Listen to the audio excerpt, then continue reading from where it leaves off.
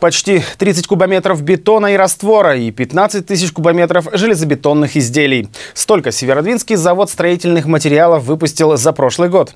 А еще приобрели и внедрили новое технологическое оборудование.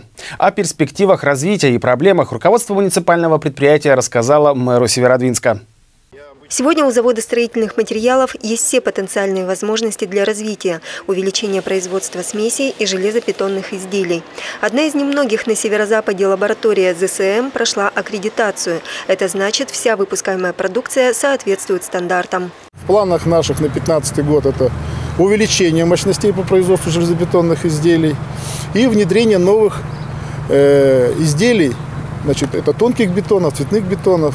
Это перспективные разработки, которые на сегодняшний день идут на пике значит, э, строительных науки. Рентабельность предприятия за прошлый год выросла в два раза, при этом себестоимость продукции снизилась. Завод работает в контакте с центральными научно-исследовательскими институтами. Основные потребители продукции – оборонный комплекс. Кроме того, предприятие, как социально ориентированное, готово выполнять срочные заказы по строительству жилья и работать со всеми застройщиками.